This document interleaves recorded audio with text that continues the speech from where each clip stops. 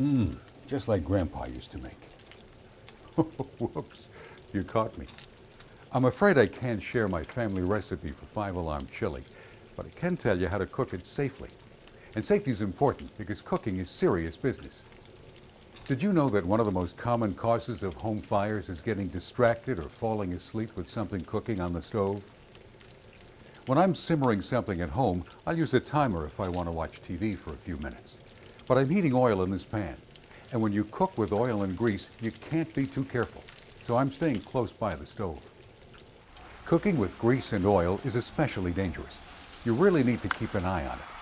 If you walk away, a small problem can grow into a big problem fast. Like if the oil gets too hot or starts bubbling and splattering. If something like that happens and you're not there to turn down the heat, you're likely to have a pan fire. When you're cooking with oil or grease, stay at the stove. Unlike my chili recipe, there's no big secret to cooking safely. Just watch what you heat.